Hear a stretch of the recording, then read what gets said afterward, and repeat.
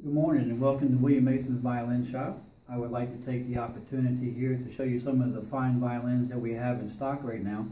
I'm going to start um, off with showing you some of the modern American made instruments that we have in the shop.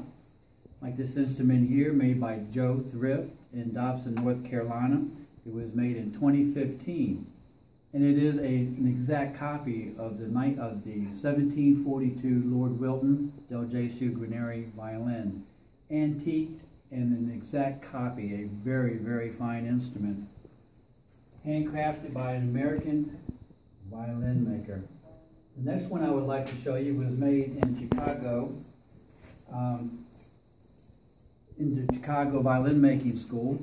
It is made by Andrew McGuinn in 20 14 um, is another fine instrument. It is a Strad model. Uh, this is his instrument that he made to graduate from the Chicago School of Violin Making. Another very fine instrument by an American maker. Again, these are all made by American makers here. This is another one made in Chicago School of Violin Making.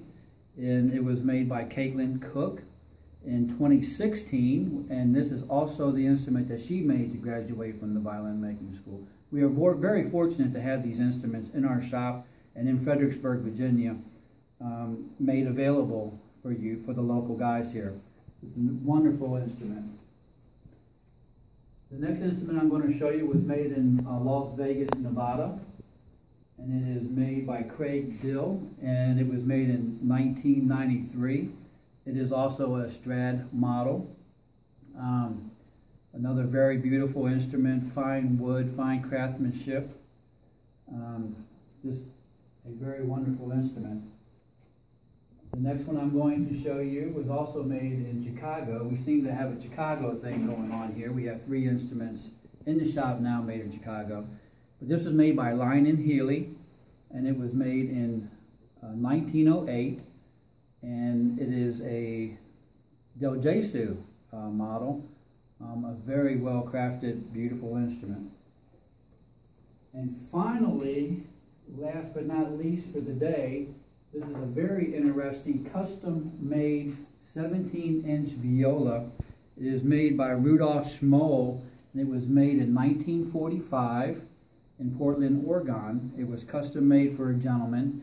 Um, this is a very rare instrument and it is a very beautiful instrument with a wonderful tone.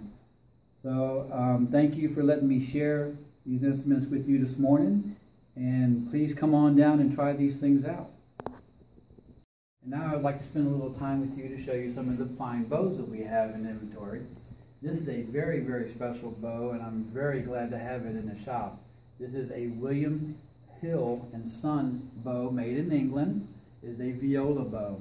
Pernambuco, got the English very dark stain on it. It is a superb, fine viola bow. Also, uh, we have a fine Le, Le um, viola bow, also a very fine, fine bow. Then we have a JonPaul Bravo carbon fiber cello bow. And now for the bass players, we have a Pernambuco German style um, bow, brand spanking new, looking for a home, come visit. And then we have a fine French bow, a bass bow for sale, which is a Pernambuco bow too. Okay, so come on down. Um, join us on WilliamMasonViolin.com violin shop and um, check out our blog. We are down in the display room taking a look at uh, a fine cello, um, Giuseppe Rinaldi, 1992. A beautiful, fine tiger, tiger stripe maple back. Very fine instrument. Also, we have a Romanian bass made in 2002.